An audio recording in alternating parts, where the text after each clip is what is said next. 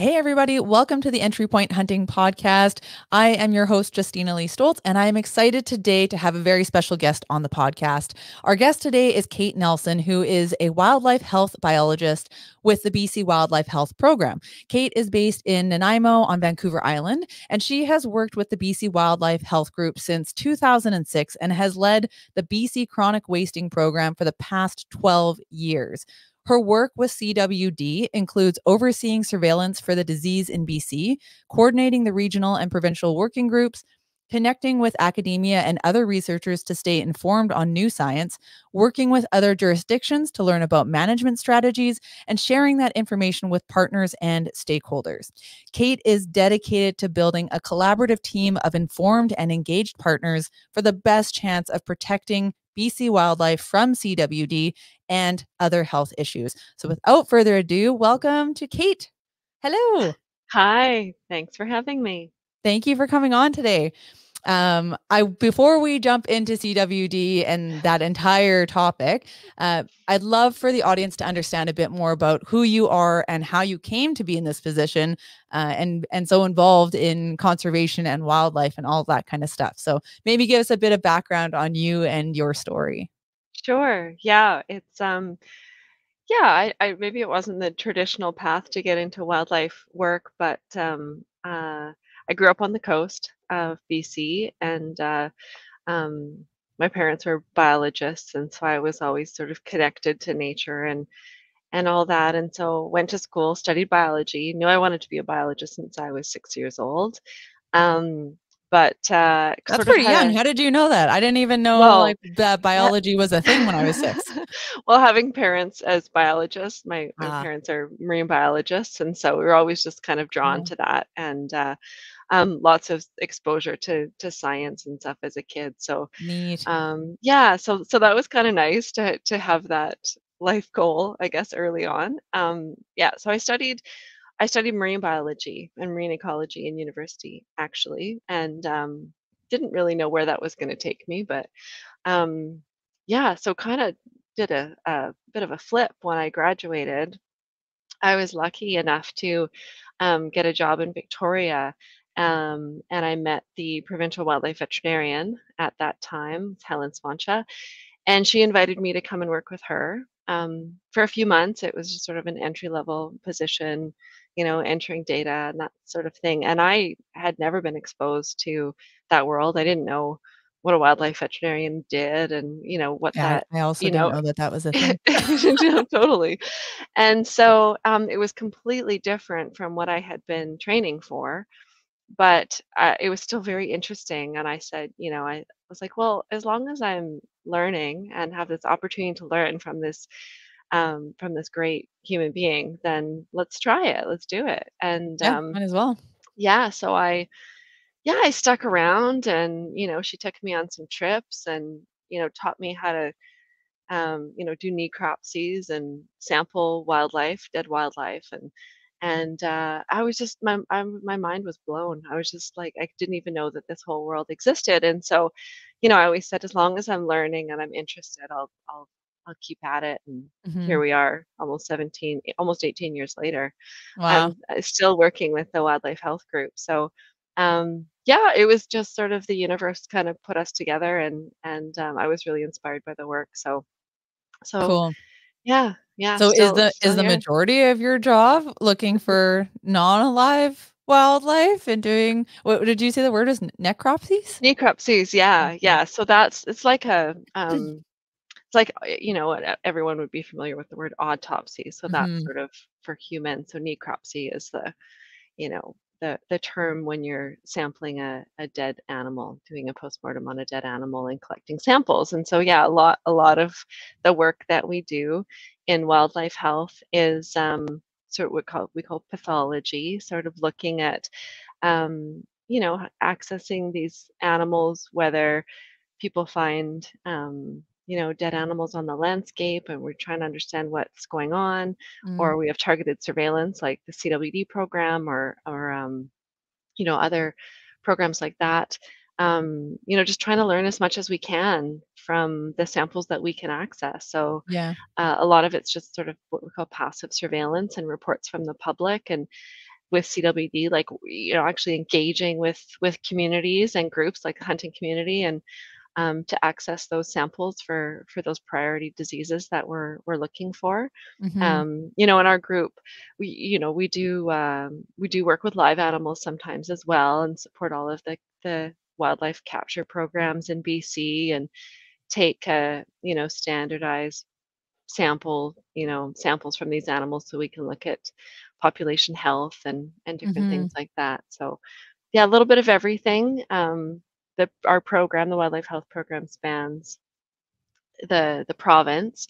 So lots of different um, wildlife health uh, initiatives and and research projects, and you know, supporting, like I said, supporting the broader wildlife program.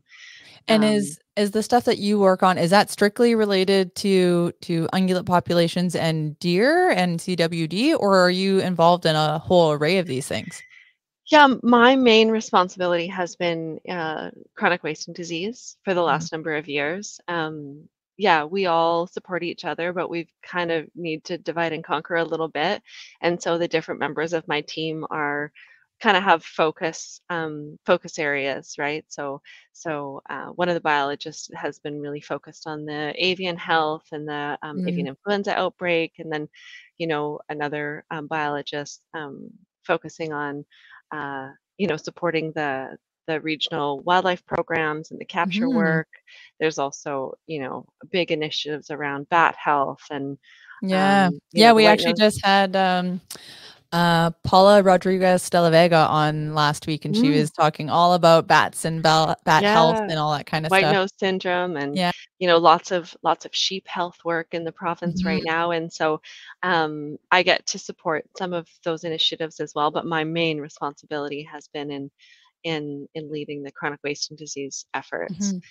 So maybe that's a, a good point to jump into then there is is for those because this is entry point hunting and it's for hmm um outdoorsy people, not necessarily just hunters, but outdoorsy people hmm who are kind of at the beginning of their adventure period and they're not really sure what they know and what they don't know. So yeah for those that aren't familiar, um, hmm maybe can you tell us a bit about what is CWD? Who who does it affect, um, and and where where it is in its journey right now, or I guess the backstory of how it got to here.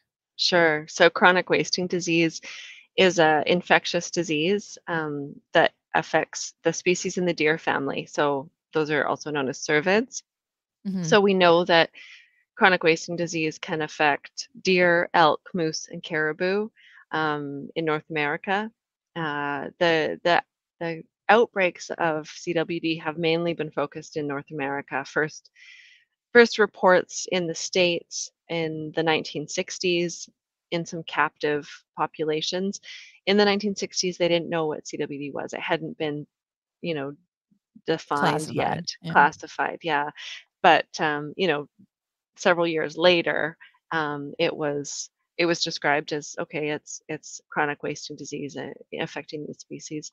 Um, so it's caused by a an abnormal protein that's uh, basically it's a misfolded protein that causes disease. Um, they're also known as prions, is another word for them. hmm And uh, what happens is these these prions will uh, accumulate in the body of an infected animal.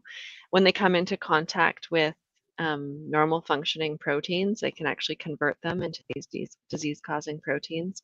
Mm. And proteins in the body would, you know, they're meant to, they have particular functions and they're meant to sort of break down into component parts and recycle. But these disease causing prions proteins, uh, they don't break down they accumulate in the tissue and they they can be in uh, all tissues like throughout the body but they Mhm. they tend to accumulate in the central nervous system and in the brain ultimately Mhm. and so as these prions are accumulating in the brain and and not functioning properly it causes damage to the brain tissue and so you it leads to a neurological disease Mm. that is fatal in every in every case Hey, so can I um for one second? Are you mhm. able to adjust your mic a little bit? It's just getting a little bit of um like I don't know, feedback when you're talking a little bit. Oh, is this better up, down? I don't know how to. Yeah, no, that that seems okay. I wonder if it was just maybe your hair or something was Okay. bumping it while you're talking. Oh, okay. That's okay. Earrings, maybe? Maybe, maybe, who knows? Okay. There was just a little bit of, like, gurgling underneath it. Okay. Okay.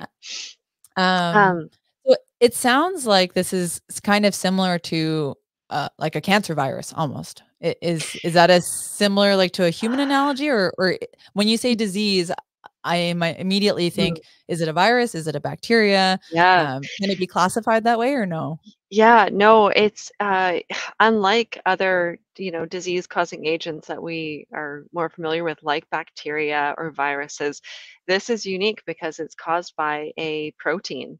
And Mm. so, um, the body actually doesn't recognize these disease-causing proteins as anything, um, that's not, you know, foreign or not supposed to be there. And so there's no there's there's no, um, immune response Mm. to them, which is which is really, uh, interesting. Um Even Yeah, once the degradation starts to happen, the body doesn't kick in and go, "Oh, we're feeling No, unwell," or anything? Nothing they don't they don't recog the body doesn't recognize it as as something like that. So, Wow. um, so yeah, it's really tricky. So these you know, people might be familiar with some other prion diseases, uh, like mad cow disease Mm. or, you know, uh, bovine spongiform encephalopathy, BSE. That would Mhm. be a prion disease that affects cattle. Um, there's other prion diseases like, uh, scrapie that affects sheep and goats. There's even human forms of prion diseases, uh, one being Creutzfeldt-Jakob disease. And so, um, what sort of classifies these diseases as, you know, in in a in a group of diseases or family of diseases is they're all called uh, transmissible spongiform encephalopathies. Say And the that 5 times fast. Yeah, right? Um, basically, transmissible just means it's transmissible between the animals. Spongiform actually describes the effect to the brain tissue. So when there's there's cell death and damage in the brain, um, you actually get like a sponge-like appearance in that brain tissue. So they call Mm. it spongiform, and then encephalopathy just means of the brain. And so there's this group of prion diseases. They all have their unique set of characteristics and and, you know, that they're they're dissimilar in a lot of ways, but all similar in that they're caused by this abnormal prion. Mm. Um, and with the different prion diseases too, um, you know, they tend to to stick to their species groups. You know, there's not, um, There's generally crossover there. there's generally not crossover. How you know, Okay. however, with BSE, um, you know, we found out that that can actually be transferred to people if you consume consume That was the mad cow one? Yeah, Yeah, yeah, okay. mad cow, if you consume infected meat.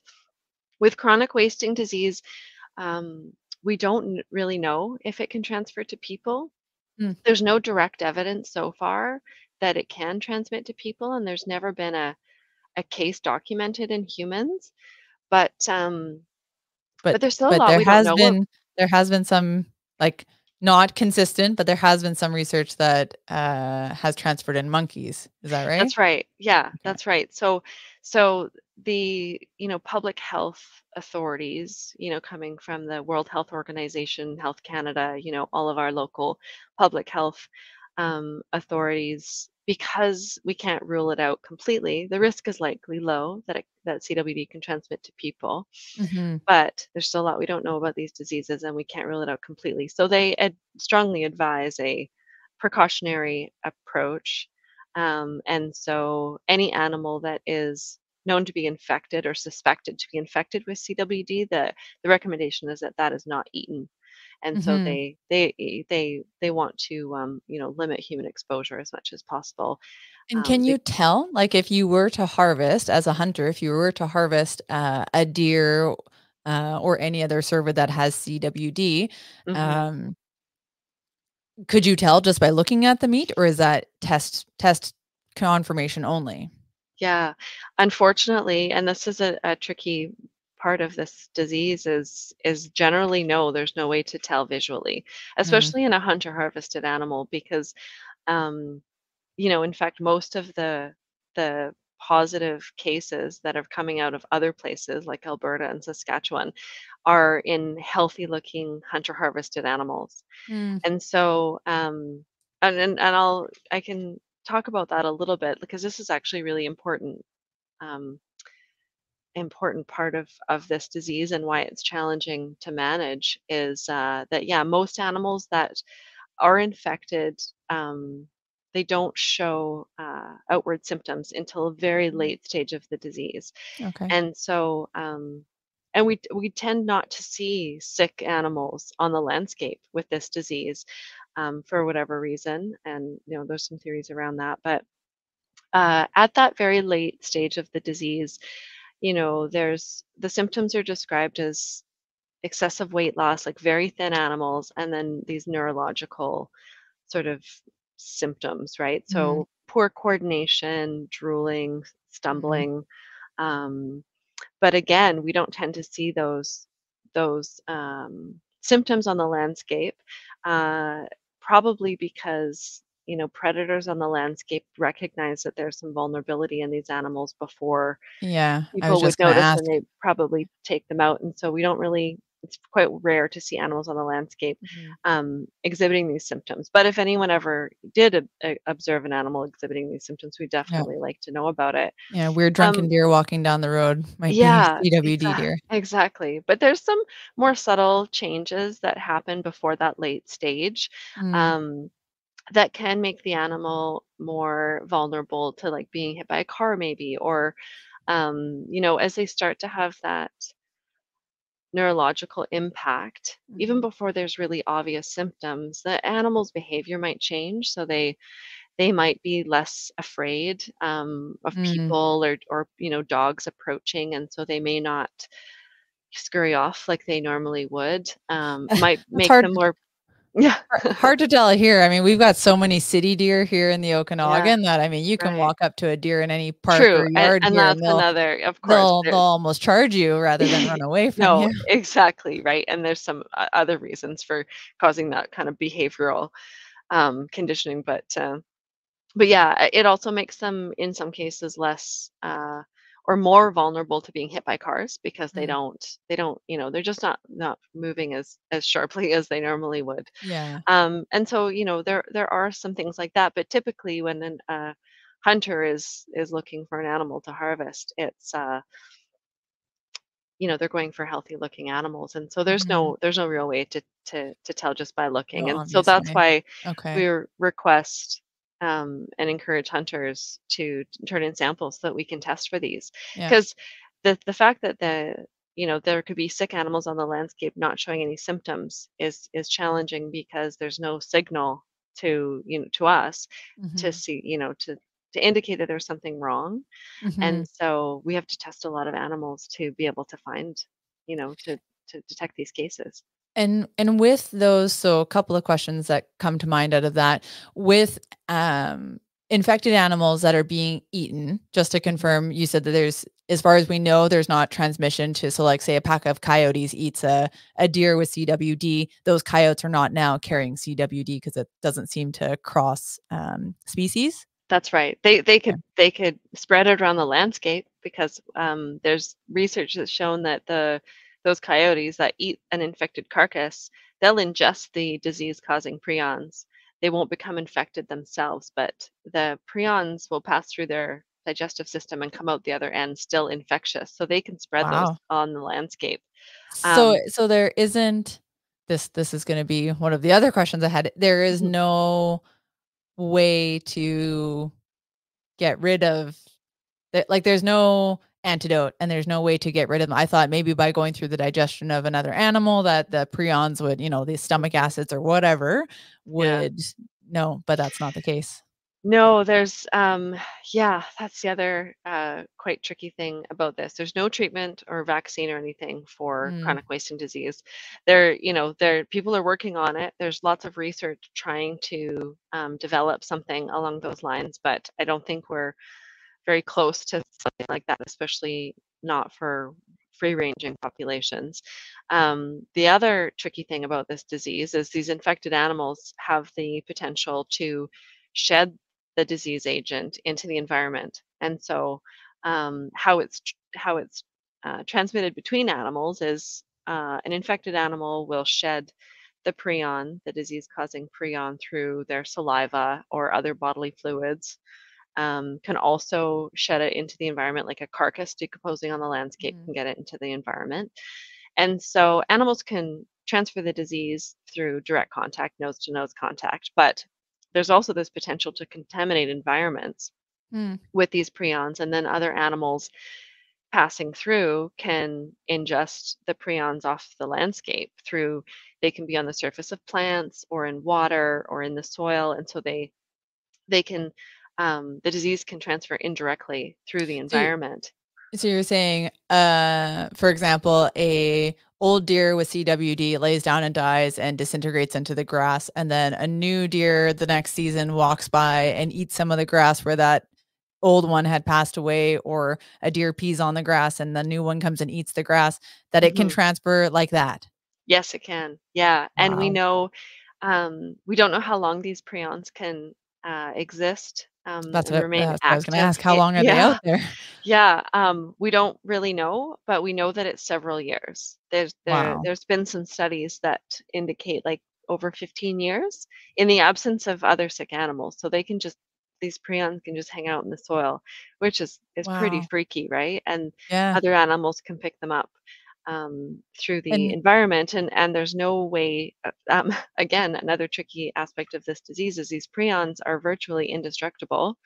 Um, there's no way to uh, to deactivate them like practical but not through way. incineration or anything incineration like incineration is the one thing but if we're talking about like the uh you know the landscape um there's mm-hmm. no burning like just a backyard fire but like burning's not going to um, be effective in in deactivating the prions any sort of you know um, reasonable heat or or um, disinfectants like those types of things don't really mm-hmm. have any um, uh, effect on the on the prion so the one way that um, is known to be the the most effective way of deactivating prions is through incineration through high mm. high heat and so we're uh, talking either like a, a, a crematorium or like a, an intense wildfire I don't think wildfire would hit it. Like no? I, I, okay. I think, yeah, I think the um these industrial grade incinerators are sort of the only, wow, the only, yeah, the only ones. Um, and so that so, makes that really tricky for yeah. So that's of, really only effective if somebody says, "Hey, I found a yeah. roadkill, or I I harvested a deer that is confirmed to have CWD. Mm-hmm. Please incinerate this body." yeah, and that that's what we've okay. we don't have a ton of capacity for incinerating in the province either. Right. Yeah. And so, I mean, incineration is recommended as as the best option, but you know, barring that, we are left with um, you know, disposing in in landfills, and not just regular disposal at landfills. We, you know, certain landfills will have yeah. um, special areas where we're disposing of higher risk material and deep burial and that that sort of thing. Um, so that's and as we that's really not this, that's really not preventing anything, right? Because no, you know uh, it's there. That's you're just contaminating that site and hoping that yeah. other animals can't access it, right? So, um, yeah. So, yeah. Okay, so two questions out of that. One, what does that mean for existing deer populations or or cervid populations? Mm-hmm. And two, um, are there deer that get this disease and are immune to it or that mm-hmm. you know for whatever genetic reason they're going to be the survival of the fittest uh, mm-hmm. theory and they are the ones that are left over and can re uh, populate or procreate yeah. with a, a, an immune new generation or something yeah um, let's tackle your second question first because that's okay. easier to answer i think um, yeah short answer is no there's oh. no there's no evidence that that animals cervid will you know that they don't develop any sort of resistance or immunity and there's been some research looking at this in the context of caribou and you know caribou conservation mm-hmm. hoping that caribou somehow you know will be you know impacted less but it's it doesn't seem to be the case um, so there's you know there's different strains of cwd that we're learning um, that impact animals and, and different species in different ways and sometimes prolong the the course of the disease or shorten it or they might have more intense symptom you know like there's some variation but in all cases the animals will will die from it so so there Wow. there doesn't seem to be any any resistance. Mm, so what does that mean for um cervid populations? Um that's uh yeah that's that's a good question. So, mm, um, it'll, kind of take a step back and look at sort of the history of CWD and the impacts on the landscape and what we've learned over the last 30 years. mhm. Um, when this disease first started to spread and people started to recognize it as CWD, um, And sorry, know. can I can I pause you there? Yeah. Uh, I you might have said this at the beginning and maybe I I'm just blanking on it, but is it known where the origin is from? Oh, yeah. I'm not sure if we talked about that. We don't know. Okay. Um, we don't know for sure where it originated. The first cases were back in the 1960s in the Hmm. States, in Colorado, Wyoming.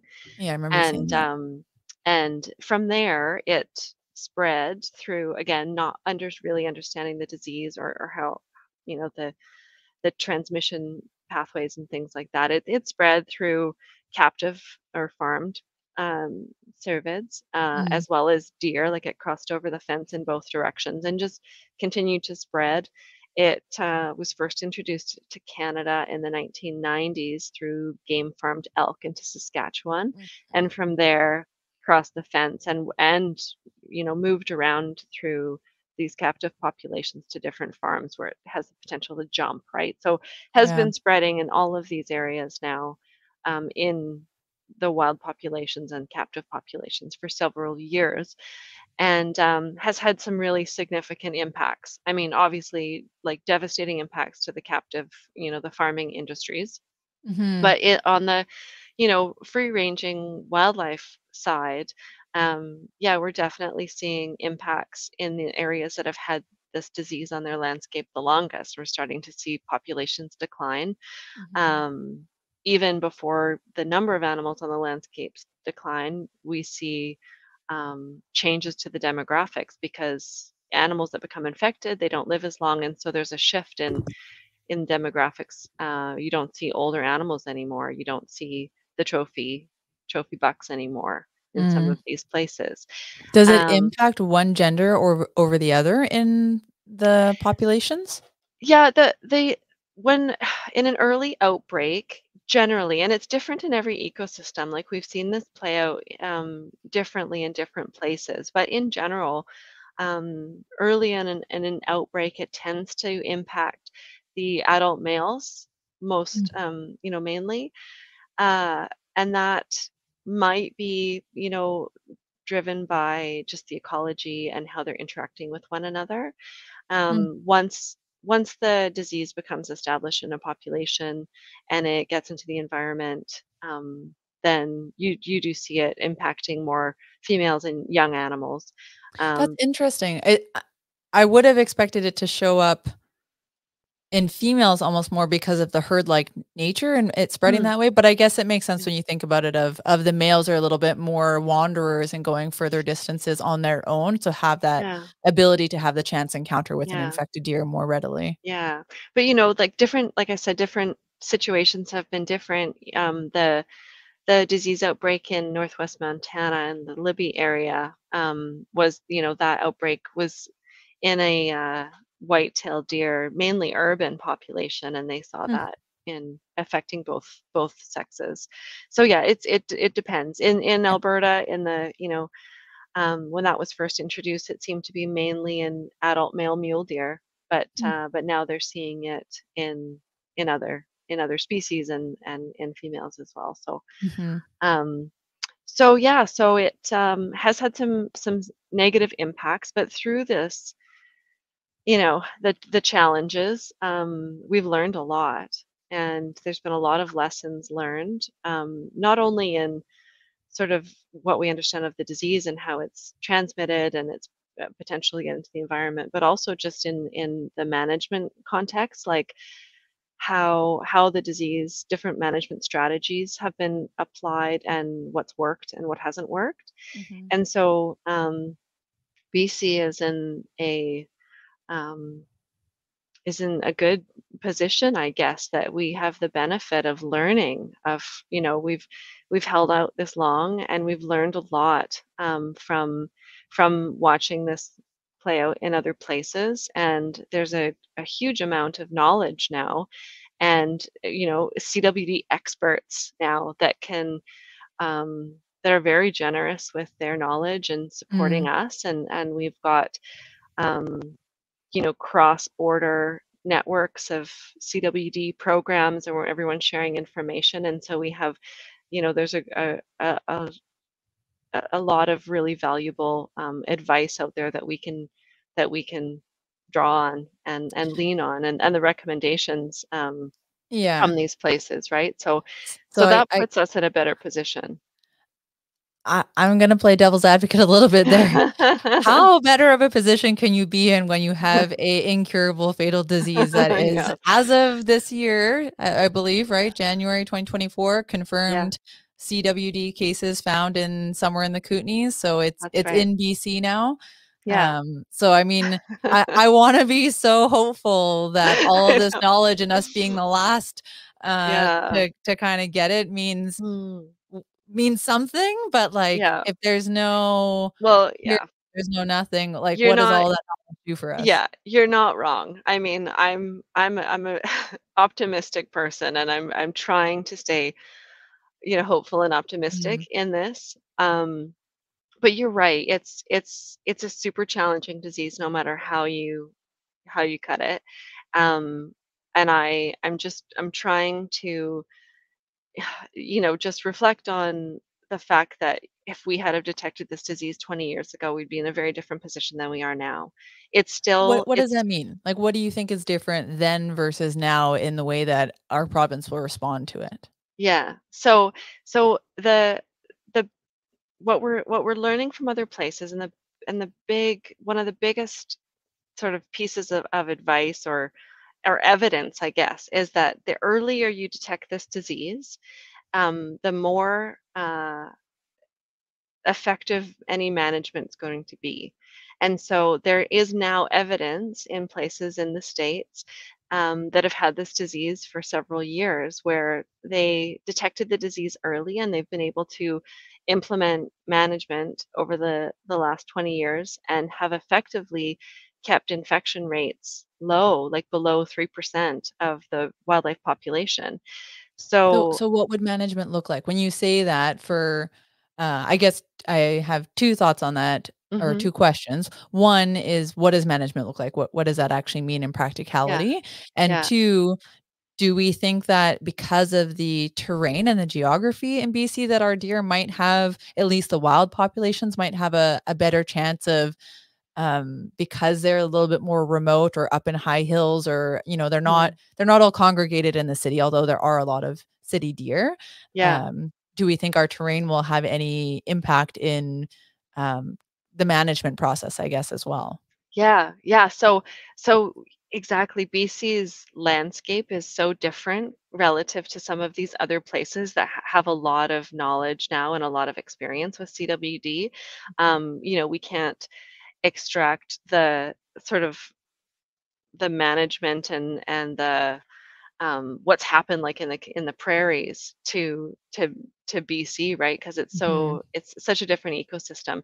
So we really don't know how it's going to behave here, but um, but yeah, presumably our geography and our like the natural landscape features are, are going to influence how how mhm, this disease is going to to move potentially. mhm, Um, so yeah, for sure. So so what does management look like? So we mhm. have I guess a, a, a suite of tools in a toolbox, and um, the different situations are going to, um, you know, really determine what tools are going to be most effective.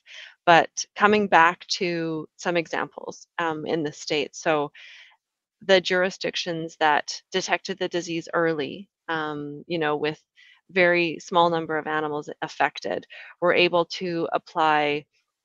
Um, management in the form of harvest. So so the the the main recommendation as far as um, uh, tools is that hunting is the most important tool that we have in managing CWD. And there are places now that have been able to uh, implement harvest uh, strategies that have been effective in in slowing it down mm-hmm. and and keeping the infection rates low and sometimes um, you know harvest management is coupled with um, some targeted removals um, but but really the, what's most important and i think one of the big lessons learned is you know the the situation that lots of people are familiar with in, in alberta when it was first detected in the early 2000s the sort of theory of the day at that time was to hit it hard and to hit it fast and stop it in its tracks mm. and and so you know some large scale calls were implemented there and sure it was effective in slowing the disease down but they were very controversial and very unpopular and so those programs were were halted, right? Yeah, anytime you call, I mean, we just saw that in BC, and and when yeah. my first thought was when you said, you know, uh, hunters are are a critical management piece, and uh, yeah. and some selected harvest, and I my immediate thought was, well, hopefully it's hopefully the government's a little smarter on this avenue than they have been with some other, uh, you know, outsourced culls that they've recently done on on the islands and such? yeah so so the you know what we've learned from that was that those types of strategies were not successful. They were they were halted and the disease was you know able to just take hold of those populations and what we've seen in alberta is just increasing um, you know alberta and saskatchewan is is just increasing disease prevalence over time and continued spread. And so that was unfortunate. There's some other examples in the states where um, you know there wasn't a lot of testing being done. And so when they got their first case they you know their response plan went and did some targeted sampling and and the result of that was you know 25% of the population was already infected. Mm. and at that point there's nothing you can do it's there. You're just going to be monitoring it. So what we've been trying to do in BC, I'm, are, you know, we've been doing surveillance since the early 2000s for this disease in BC, long before we were considered high risk. But there was always a, the chance that it, the disease could be brought in on an infected carcass, and so we had to start developing those programs.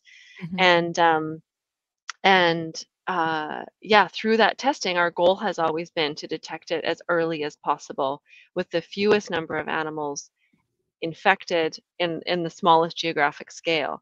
And so um, that is key to this. So if you can catch it early, and hopefully we have, um, because we've detected these two cases in an area where we have been doing enhanced surveillance and mandatory testing, and we've tested, you know, thousands of animals from these areas, um, mainly from hunters. And so, you know, just recognizing the important partnership there, where this program wouldn't exist without those hunter samples, mm-hmm. and um, yeah now now that hopefully that's the situation that we're in we're still pulling the information together but hopefully we've caught it early and we can apply some of these tools.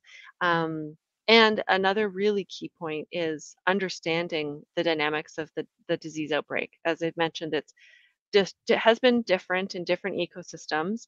It's really important to know what species are affected and um, the demographics of the of the population, where those populations are, how they're interacting with adjacent populations, mm-hmm. um, where like we have all of this surveillance data now, thank you to the hunters, where we have animals that have tested negative, and so mm-hmm. we're looking at that information and those where those animals were harvested in relation to these positive cases and that tells us gives us a you know a, a clearer picture of the scope of this outbreak so, you know, if we have from a management unit 300 animals tested and only one came back positive, that's a really good indication that it's it's a small proportion of the population and we've ca- caught it early.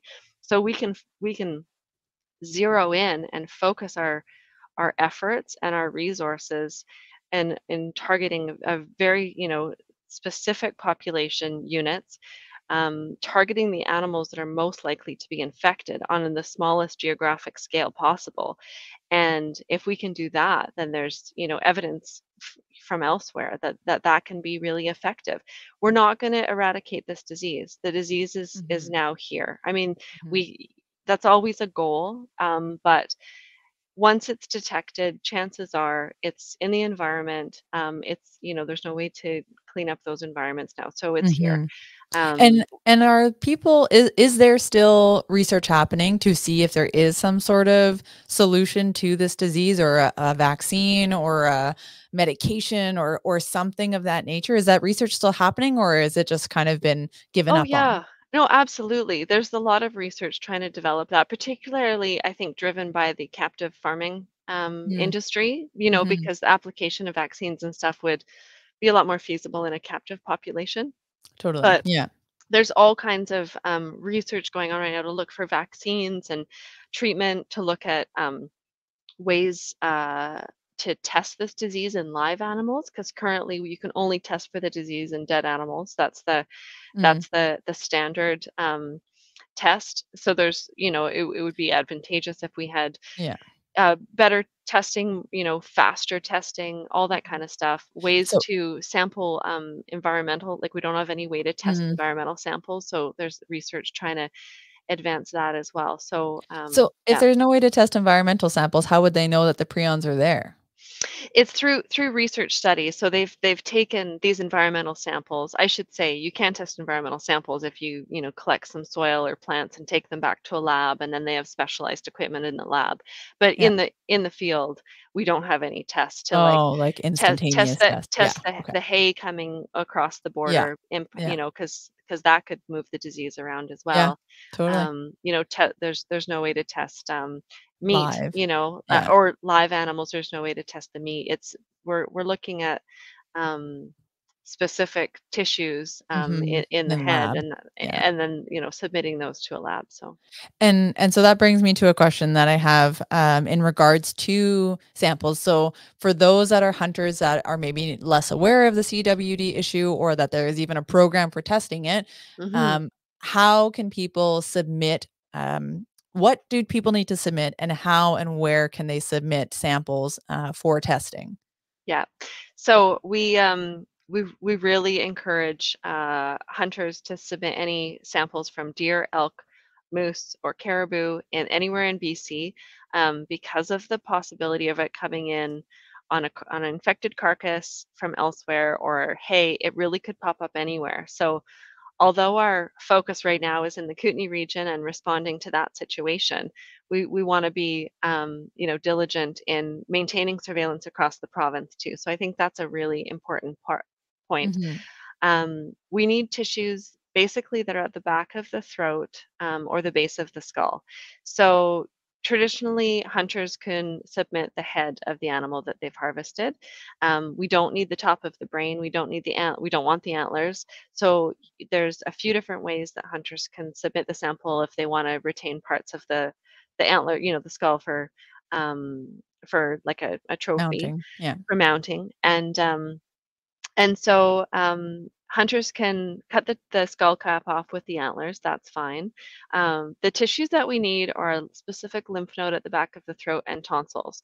And so if a hunter wants to just remove the lower jaw, um, by cutting around the, the arch at the back of the low jawbone, the, the tissues that we need are just tucked inside there. So hunters can actually remove the low jaw, maintaining the soft tissue at the back of the throat, and just turn that in as a sample and retain the rest of the head. Mhm. Um, And I'll also, I'll throw a link because I think there's a, a an infographic somewhere uh, on the site somewhere. So I'll throw that yeah, link down below in the description when this video is posted as well. Yeah, that's awesome. Um, we're also offering training. Uh, you know, we've had several training sessions with hunters that are interested in collecting their own tissues, right? So if Mhm, a hunter wants to go in, all you need is a sharp knife and a Ziploc bag, and you can pull the the tonsils and the lymph nodes and submit those. mhm. Um, so And so and you, where do they submit those to? okay, so um, we have freezer locations set up across the province for drop off locations. Um, you know, we don't there a have list of those on the website somewhere? Yes, there is. Yeah, on our CWD website, there's a list, and that's the best uh, sort of reference to look for the freezer locations because we're adding new locations all the time. And so check the website. Um, we have sort of the the best coverage in southern BC. Of course, lots of freezers in the Kootenay region. We're setting up more in the Okanagan and the, you know, the Thompson region and uh, Lower Mainland. Um, but yeah, so folks, if to... you have a spare and empty freezer that you would like to yeah. be a drop-off location, uh, you'll get everything yeah. from a sandwich bag to actual head-sized yeah. uh, samples. But uh, absolutely, we're keen to hear. Um, you know, if if hunters are hunting in an area or they reside in an area and there isn't a convenient freezer location, you know, please reach out to us because we want to provide that. And we're partnering with with different businesses and and clubs to host these freezers. And so we're we're hoping to, you know, add more and and make it as convenient as possible for folks to turn in to turn mm-hmm. in samples. Yeah, yeah. Just coming back to the sample though, I don't want to miss the for the elk and the moose um, and caribou, we collect a slightly different tissue on those animals. So still the tonsil, um, or rather not the tonsil, the lymph node at the back of the throat, but then we collect part of the brain stem as well. Mm-hmm. And so for deer, um, sorry, for elk, moose, and caribou, submitting the low jaw is not an option because we need part of that the the base of the skull or the the skull. Um, so again, if if hunters want to submit the whole head, or check out the YouTube video. We just need a portion of the brain stem that's right at the base of the skull, and so um, hunters can collect that sample themselves and submit that. Perfect. If you want to retain the, the head, yeah. Yeah. Yeah. All that information is is on our website again with instructions on on the different options. Just trying to make it as you know as easy as possible for hunters to submit those samples because they're so valuable to us. Mm-hmm. Absolutely. Yeah. Mm-hmm. Um, in the interest of time, we will move a little bit towards wrapping things up here, unless there's anything else absolutely critical that you think people should know about CWD um, before we move into our, our closing. Yeah, no, I think um, it's it's we're in an interesting time right now. We're still in the early stages of um, of addressing this response and these first detections in BC. So there's going to be lots of new information coming out over the coming months. And um, yeah, I just encourage folks to just check check our website for that new information and um, and reach out to like we we always love hearing from people and and getting imp, uh, you know input and and um, you know ideas. So so you can always contact us directly. Amazing.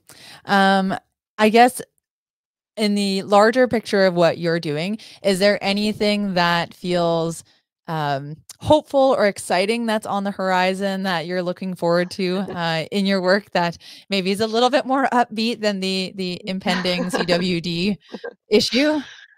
Well, you know, it's funny. Um, this last week since the first detection, lots of people have been like, "How are you still smiling so much?" but I have to say, it's uh, this is not a, a this was this was a, a sad day for for us for you know for wildlife in BC to get this detection, but we um, we knew it was coming. You know, this is not a surprise. We knew it was coming, and and this is an area where we expected it to show up. And so we've been really working really hard to prepare for this day and to you know get everything in line so that we can respond to this as effectively as possible.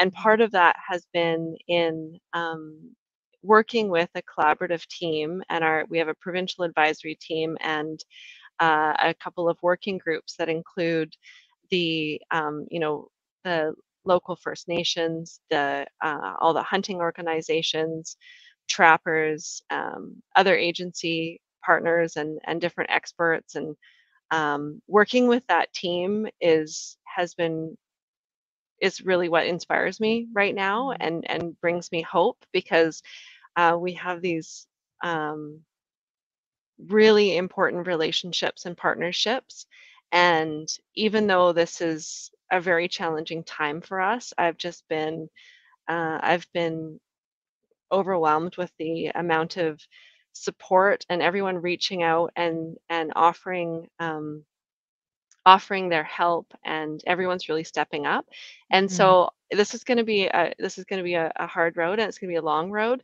but i'm really optimistic um, and looking forward to working with everybody together on this because mm-hmm. um, you know that that's that's what we, we've been preparing for and it's all it's all coming together so um, I, I think I think you're the right person for the job, Cait.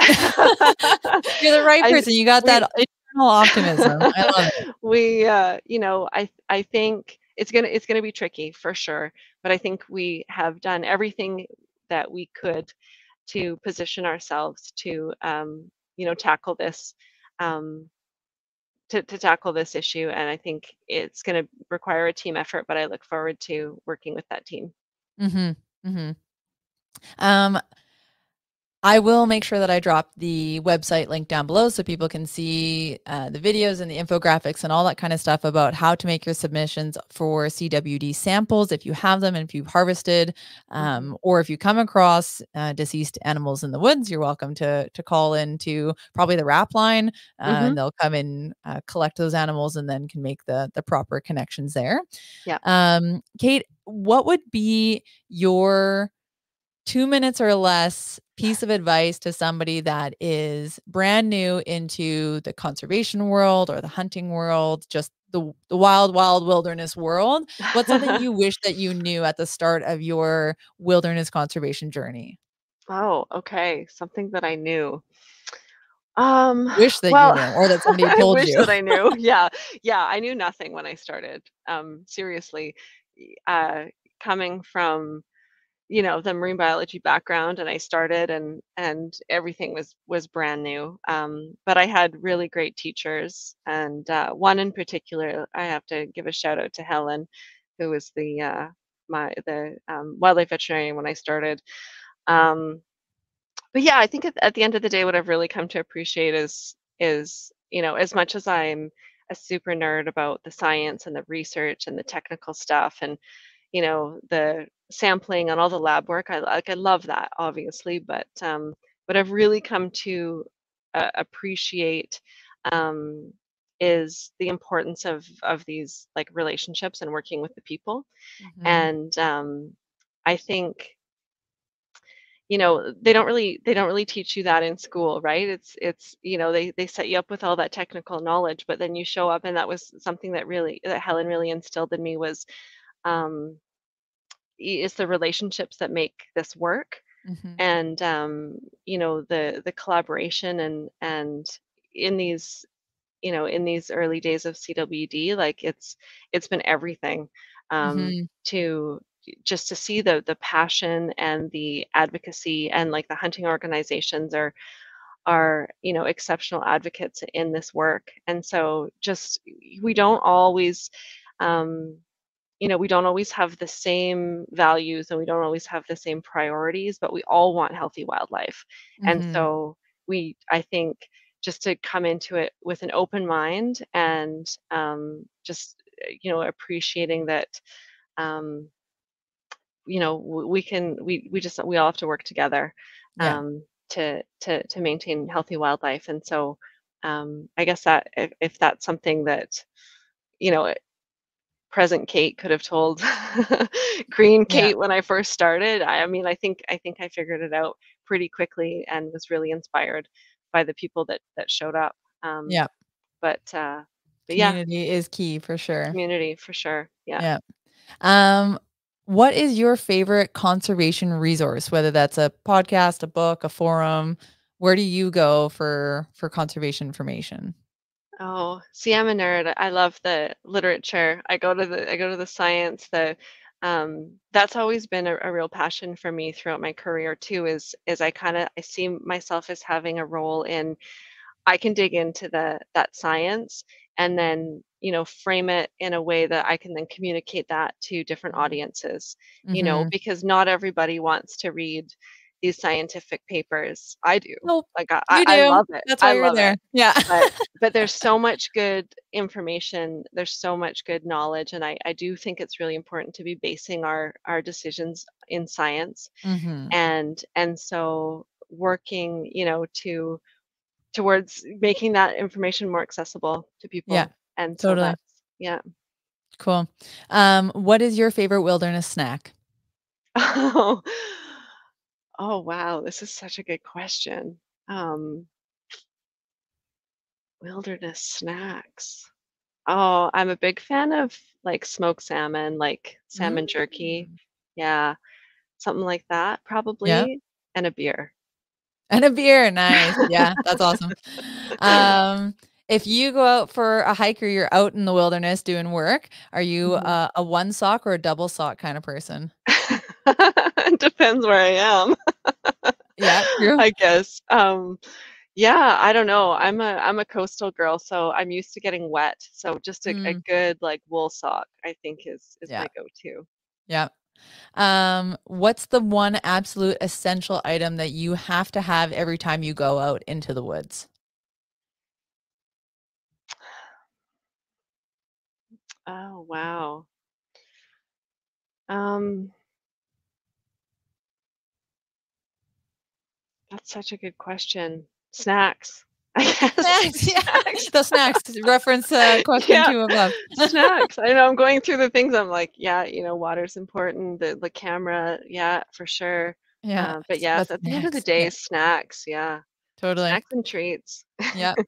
Um, and I like to do this question uh, as a fun new introduction. What's one question that you'd like to ask the next podcast guest? It could be anything you want, any random question at all, and I will ask them the, at the end of their interview. Oh wow! Oh man, um, am I going to get this from the previous person? No, no, you're the oh, first oh, one. You get to new? start this. Yeah. Oh my goodness. Um, what would the question be? Um, I guess okay. I'm, I mean, maybe this is maybe this is silly, but um, I, I would love to hear, you know, what would what their advice would be for us, um, wildlife health in like making information more accessible. Is that boring? I just it's super super important for me.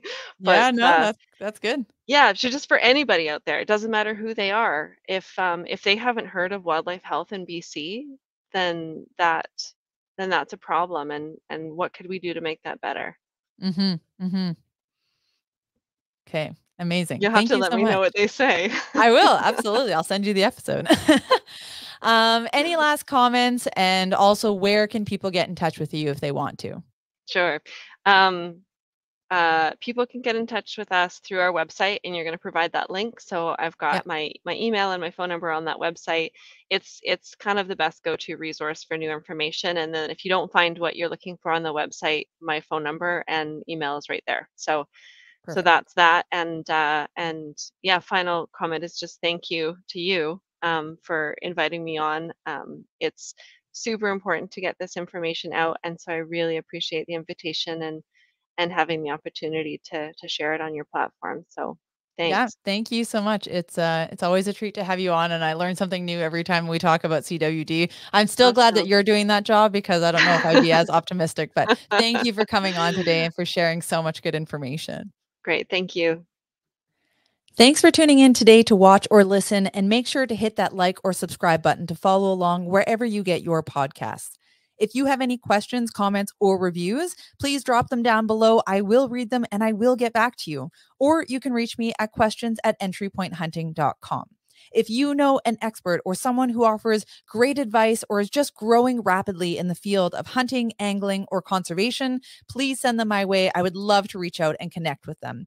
And until next time, friends, stay hungry.